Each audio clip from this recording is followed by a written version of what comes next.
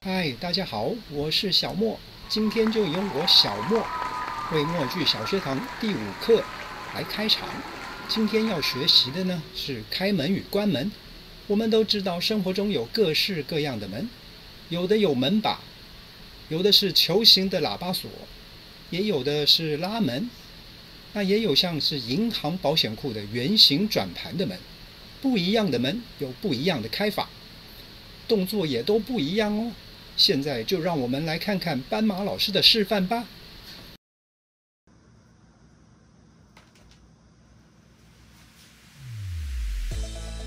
哎，大家好，我是斑马老师。是的，没错，今天要学的课程呢就是开门与关门。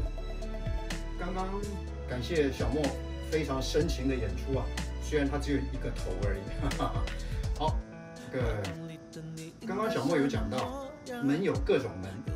好啊，第一个门呢，就是有门把的门，把是这样开关的，这样开关可以看清楚哦，这样开关，以这边为圆心，这样转，有没有看到没有？这样转，这是第一个动作，第一种门，有门把的门，推要往前跨一步，而且要跨过门槛。关门呢，要按照四分之一圆，有没有？门是这样，打开。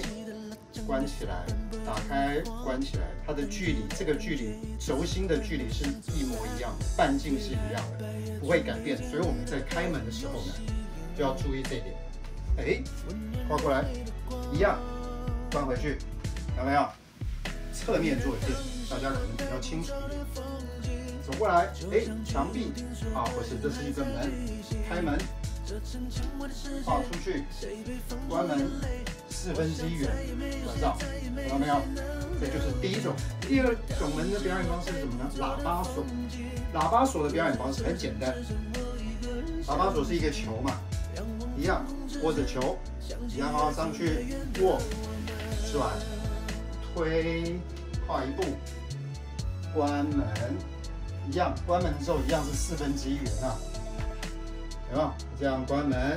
所以绝对不要做这件事情，就是有人开门啊，糊弄你，开门，这样开门了，你以为他开门吗？是的，他他是开了门，但是门只有那么宽呐，门只有那么宽，那他怎么进去？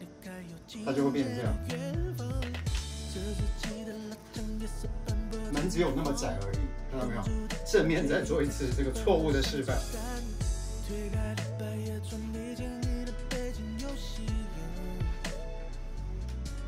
看到没有？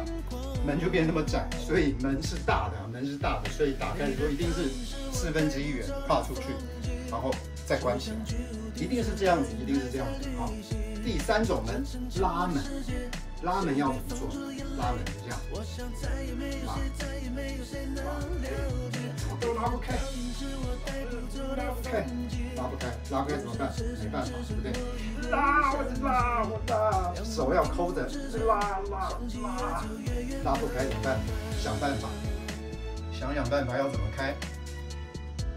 嗯，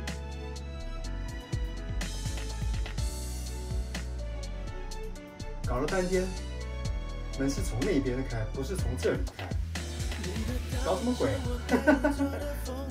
太无聊了嘛，对对对啊！从这边开，从这边开，拉，跨出去，脚要有一个动作，再把它拉回来，好，再拉开，跨出去，把它拉回来，就这样子，来侧面做一遍，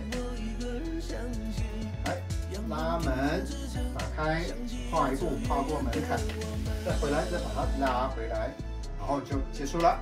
好，接下来第。四种门是什么？第四种门呢是银行保险库的那个圆形转盘，有没有？圆形转盘。好，这个时候你就要注意一个小诀窍，两个手掌、两个拳头啊的距离要一模一样，你会觉得它是在转东西，有没有？转，用力的转，转不动，转，转，距离要一模一样，转，你就会觉得在转一个圆形的东西。当然你要转小的也可以，只是这样怪怪的嘛，对不对？怪怪的，大一点，转转转转。好，这个动作我们可以衍生出什么？开车有没有？开车方向盘，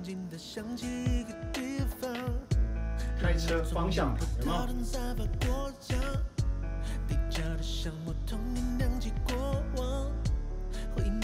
有没有？开车方向盘，哎，这是延伸的动作哦。好，最后一个门要怎么开呢？最后一个门不是用开的。好，我们先摸，哎，这是一个门，门门没没有门把，怎么开？怎么开？没关系，我们这个时候就可以用到这个方式。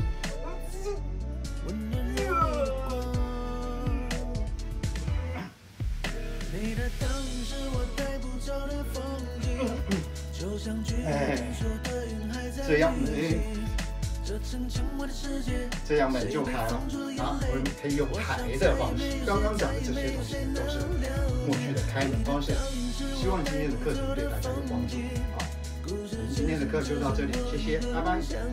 感谢小莫今天的参与，谢谢，拜拜。希望我们下周再见哦。